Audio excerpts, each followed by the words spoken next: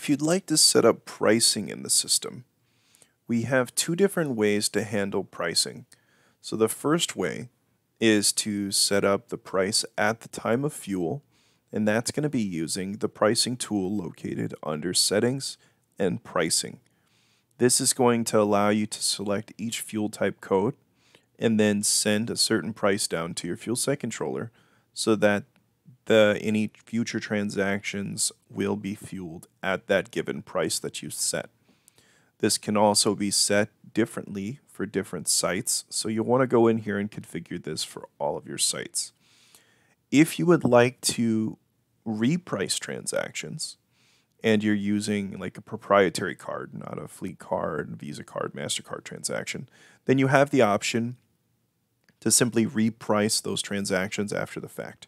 So if you're not charging for fuel at the time of fuel and you would like to simply create the price you know at the end of the month for say the you know average of fuel amount or the, the highest amount that you were you purchased fuel for for that particular month then you can also come into the system and reprice transactions uh, retroactively after they have already completed fueling.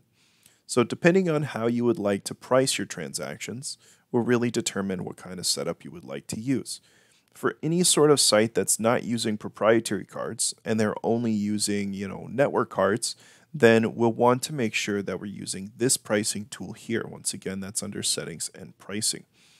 This is going to show you a list of products on the left-hand side. So this is going to be the name of the product. This is the product fuel type code that it's using up here. And then you have all of your different products that you're dispensing for this particular site.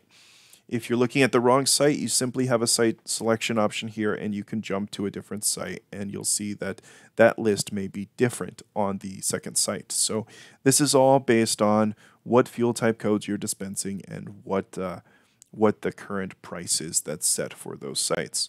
So for example, this site has a price of $1 for unleaded and if we would like to update that, we can simply just come in here and say, I would like it to be $2.50, for example. So we just come in here and type $2.50, and then we're going to hit send price. Once we send the price, the price is going to update on the right hand side, and this is the last updated price that we have sent. So if you want to come in here next time, Next time, the price should be at $2.50, and we can come in here and update the price again, and it will also reflect the price. Um, the reason we have this over here on the right is if you happen to delete the price and you don't remember what the last price was, then you could simply reference this chart over here. Um, once again, you'll want to do this for any of your fuel type codes that you're dispensing. One thing to understand is that the pricing in the DX Fleet application is based on the fuel site controller's configuration and setup. So if you do not see the particular fuel type codes that you are dispensing here in this list, or if this list only has one code, then we'll want to make sure that we have your fuel site controller set up correctly. Uh, the initial installer may simply have not set up the tanks on that fuel site controller, and that's why we may not be seeing those you know products showing up in the list. So if that happens, then there's several different methods that we can go through to, you know, fix this problem. One is you can contact our global support team and they can assist you with updating this list. You could also contact your installer that configured your fuel site controller and they could either do it remotely through the application or they could come out on site and change those uh, configurations.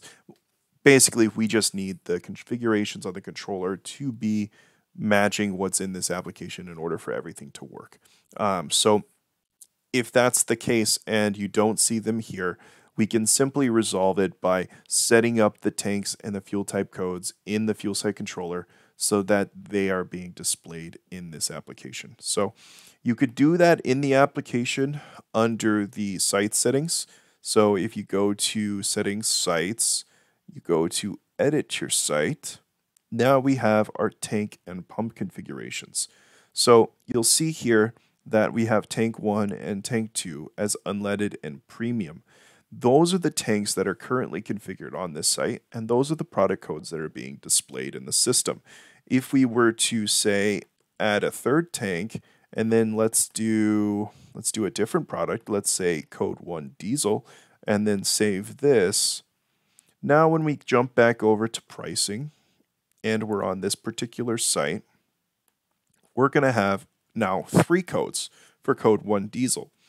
Now that configuration that we just did is a you know simple way for you to fix this list if you wanted to see a product that you are not currently able to see. However, you will want to set up the controller to match that setting because if somebody were to read your settings later, it will overwrite that setting with the one that's in the controller and you may lose this product here in the list because it's just not simply set on the fuel site controller. The other way we could change it is we could update those those tank codes and everything in the application and we could use our sync page to then send the site settings back down after we've made and updated those changes. And that will update your fuel site controller with the latest changes that you've added in the application. Just note that if you do this, you know, obviously you're sending a bunch of settings down to your controller. It can change the way that you are fueling. So if you make changes or you didn't back up the controller previously, you know, it could potentially lead to an issue if you don't know what you're doing. So I would recommend contacting support if you're uncomfortable or unfamiliar with this process. It's totally okay. Um, we do have a global support team that's dedicated to assist in these kind of things, as well as your distributor or installer that configured the system can also help you out with these kind of things. Um, so just something to note that uh, we'll want to make sure that the fuel site controller is configured correctly. Um, and then under the pricing tool, we have basically just that list, and we're going to just put in the price and then hit send.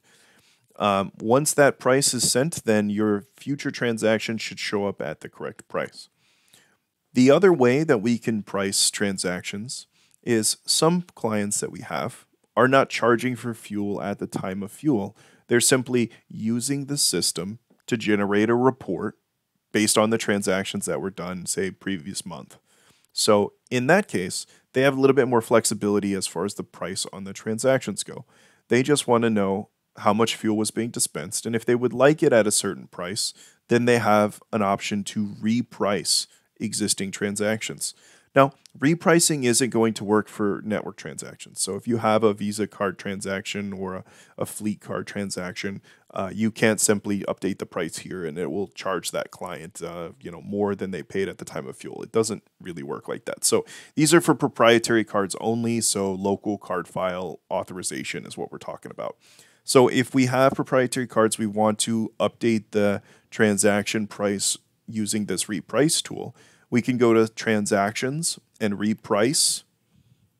Now we have a list of options uh, that's fairly similar to what we were just seeing, but we have the ability to reprice based on a previous date and a range as opposed to just changing the fuel type code for future transactions. So here we would want to select the date range uh, for the transactions that you would like to reprice. So for example, if I want to reprice last month's transactions, I can just simply come in here and say the starting day of July to the last day of July, uh, the 31st.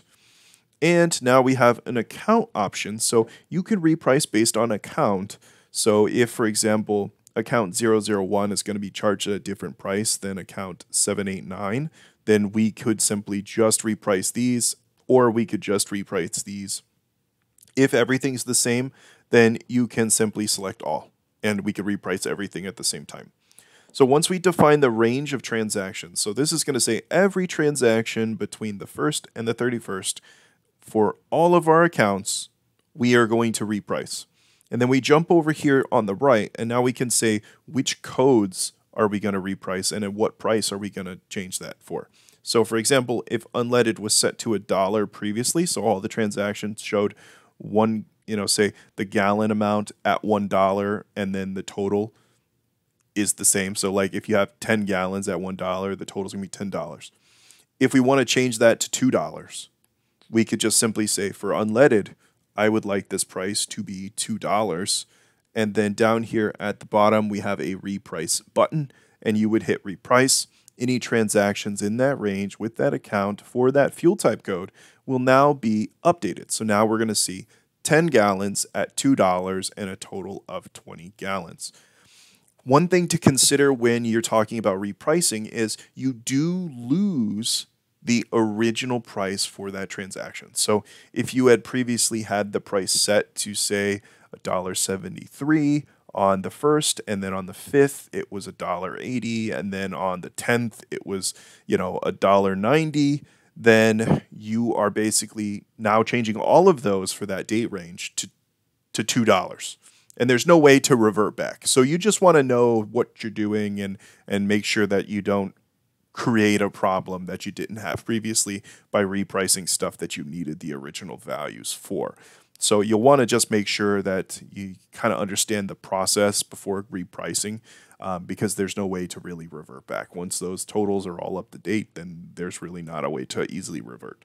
So we'll come in here and then so we've got the unleaded as $2. If we wanted to change a different code, so say number five, uh, which is diesel, we could come in here and say we're going to set that one to say two two dollars and twelve cents per transaction, and then you could reprice all of these at the same time. So you can use any codes that you want here and any price that you want, and then hit reprice.